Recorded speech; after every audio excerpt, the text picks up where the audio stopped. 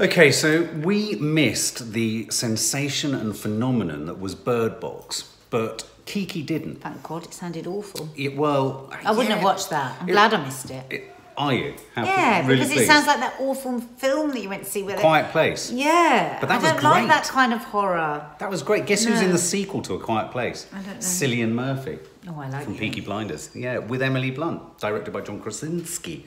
Um, well, Bird Box was a massive hit for Netflix. It was, I think, the most downloaded film they've had on their on their streaming service.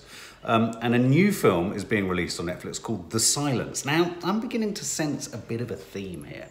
Either one sense is completely removed or another sense. So in A Quiet Place, they couldn't say anything. Don't tell me now they're not going to be able to In speak. Bird Box, they couldn't see anything.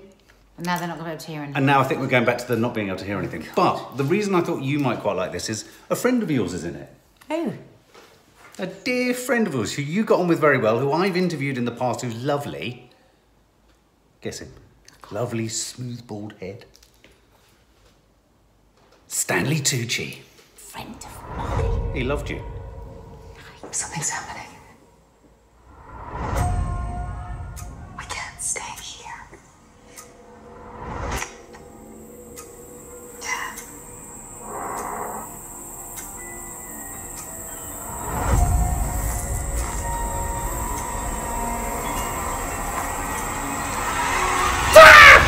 Oh, Mark, I literally hate you.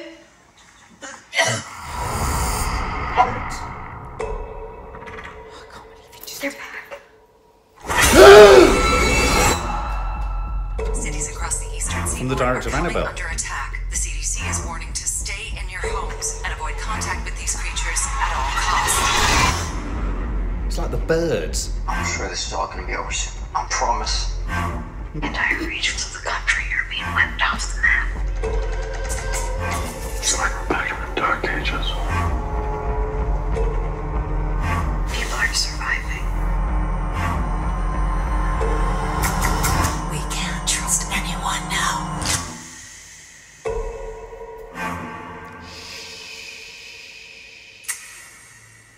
noise. Listen, listen. Listen. Listen, listen. Listen, listen. Listen, listen.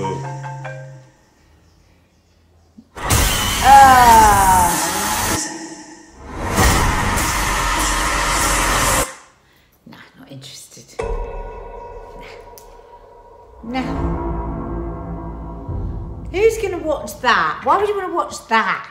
You couldn't watch it because you can't stay silent. I don't like it. You would have died I if you don't were. like it. You would have died if you were in a quiet place or if you were uh, there. Don't like I'd cope really well in a zombie apocalypse or a bird apocalypse. I would go out there and I would rescue and protect Zombies you. aren't all. that frightening, really, are They they? are the fast-moving ones in Train to Busan are. What Oh, did you think of that? Will you watch that? What do you think? I'll give you one guess. Do you think Kiki can watch it? No. Why? Absolutely not, because she is 12. No.